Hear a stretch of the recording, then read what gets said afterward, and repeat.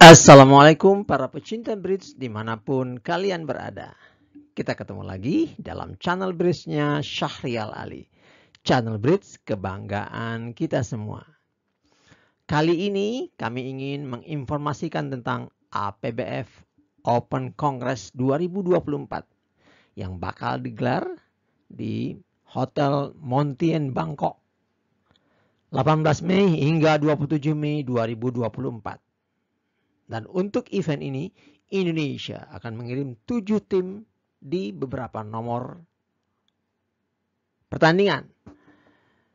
Untuk diketahui, APBF kali ini bukan merupakan kualifikasi kejuaraan dunia dan bersifat transnasional. Artinya, boleh gabungan beberapa negara untuk mengirimkan, mengirimkan timnya ya. Dan satu negara bisa mengirimkan lebih dari satu tim untuk satu nomor. Bahkan negara yang bukan anggota zon 6 pun boleh ikut serta. Sayang pendaftaran sudah ditutup pada tanggal 31 Maret kemarin. Lengkapnya ikuti video ini sampai tuntas. Dan bagi rekan-rekan yang belum subscribe channel ini, ayo subscribe sekarang. Oke guys.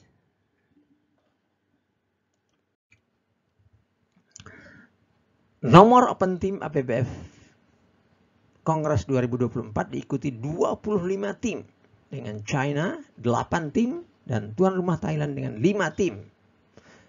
Sementara Macau, Indonesia dan Jepang turun dengan 2 tim. Yang lainnya ada Bangladesh, New Zealand, Hong Kong, USA ada ya, ada Korea dan ada gabungan beberapa negara anggota zona 6. Total jadi 25 tim. Indonesia diwakili oleh Jarum Super dan Sulut Open.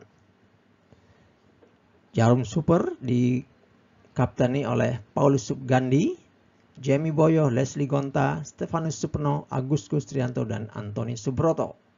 Sementara Sulut Open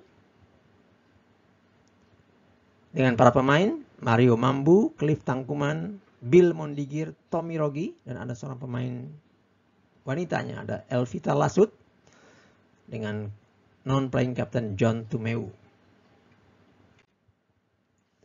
Ladies team, pesertanya 11 tim ya. China dengan dua tim, Thailand dengan dua tim, Japan dengan dua tim, Indonesia dua tim, dan Korea tiga tim. Ya. Indonesia diwakili oleh Ganesha Bridge Club dan Kaltim Putri ya. Ganesha Bridge Club Tracy De Awi, Setiatin Afriani, Vera Damayanti, Riantini, Nur Afifatur Rohinun dan Diana Aulia Rahma. Sementara Kaltim ada Ika A, Ika Ayu Puspitasari, Esther D. Soriton, Adela Safira dan Juastri Siska. Kaltim Putri adalah uh, tim yang dipersiapkan untuk PON 2024 ya. Mix team diikuti oleh 19 tim ya. China 6 tim ya, Hong Kong 5 tim. Ya, sebetulnya 6 tim juga karena satu tim bergabung dengan NBA ya. Kemudian Japan 2 tim, Indonesia 2 tim, New Zealand 1 tim, Taipei 1 tim dan 2 tim gabungan berapa negara? 2 tim ya. Indonesia diwakili oleh Ganesha Bridge Club dan Bineka. Ganesha terdiri atas Tony P. Sastra Miharja, Benny J. Brady, Taufik Asbi, Luce Boyoh, Julita Grace Tueje, dan Dwita Sonya.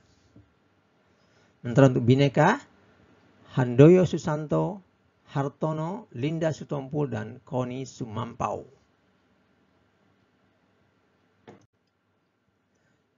Senior Team diikuti oleh 10 tim ya. China 2 tim. Masing-masing satu tim. Thailand, India, Indonesia, Taipei, oh Taipei juga dua tim.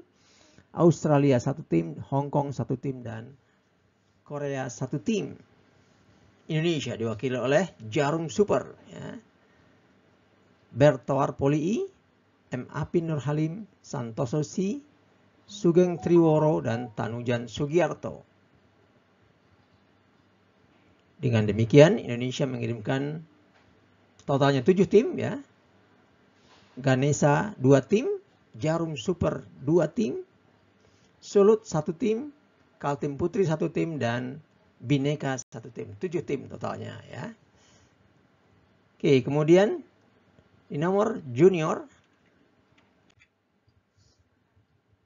U26 pesertanya 8 tim, U26 girls 5 tim, U21 8 tim dan U16 9 tim. Namun Indonesia tidak mengirimkan tim di nomor junior ini. Nah, bagaimana dengan sistem pertandingan? Sistem pertandingan adalah tergantung jumlah peserta ya. Bisa round robin, kalau jumlah pesertanya sedikit ya bisa round robin karena waktunya kan ada 10 hari itu ya. Mungkin ada beberapa hari terakhir dia digunakan untuk open pairs ya. Minimal 8 hari ya. Jadi bisa round robin, bisa double round robin atau triple round robin atau Swiss ya. Mari kita kasih contoh untuk open team.